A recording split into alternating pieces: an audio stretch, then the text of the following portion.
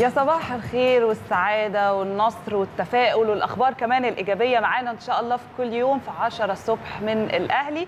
مع كريم كوجك ونهاوند سري يا صباح الخير يا صباح فندم. العسل عليكي وصباح العسل على كل حضراتكم مشاهدينا في كل مكان في العالم. أهلا بيكم جميعا وبداية حلقة جديدة من 10 الصبح في الأهلي. إن شاء الله حضراتكم تسعدوا معانا في حلقتنا النهارده. ممكن قبل ما نبدأ كده أخبارنا طبعا والحديث عن مباراة الأمس اللي أسعدتنا كلنا رغم يعني الجولين اللي جم في وإحنا روحنا بتطلع بس يعني كانت مباراة قوية بصراحة. آه، امبارح كان في كده مشهد أحزني شوية. أنهي مشهد؟ آه آه، أنا كنت ماشيه في المهندسين. مش مهم بقى فين في المهندسين يعني جامعة الدول العربية. بالعربية بتاعتي وكان آه، منطقة معينة كده اللي هي على ناحية جامع مصطفى محمود. آه. كان في آه، زي يعني مكان مليان قمامة مليان مليان بشكل كبير جدا. أنا ما أعرفش المصدر إيه اللي ما فيش محلات قوي هناك. بس اللي أنا شفته إن كان في عامل نظافة. آه، عجوز شوية. يعني هو كبير في السن يعني وبالراجل بيوطي وبيشيل وبيحط في ال- اللي هي العربية بتاعت النقل بتاعت القمامة. لكن أنا حسيت إن يعني هو الراجل ده طبعا ممكن تكون دي شغلته.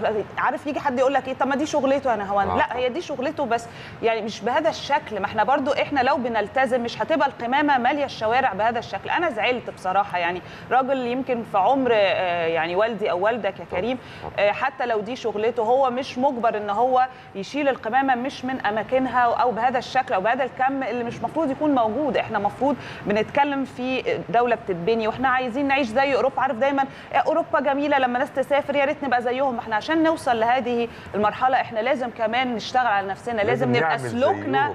سلوكنا زيهم عشان نبقى. زيهم ف- يبقى لازم نعمل زيهم في النوع ده من الأمور طبعا إحنا بنتكلم على استثناء بس الاستثناء دي يعني الاستثناء ده بينتج عنه مشاكل كتير. يعني النوع ده من السلوكيات الحقيقة. وبعدين تتفاجئ إن في حد ممكن يكون مكلف نفسه ونزل من بيته لغاية مثلا أول الشارع وفي مكان مخصص لرمي القمامه ويرمي في حتة ثانية يرميه تحت البتاع نفسها. والله العظيم أنا شفت المنظر ده. حاجة. طب, ما تكمل جميلك ويعني مد إيدك سيكه كمان وحط. القمامة في المكان المظبوط بتاعها.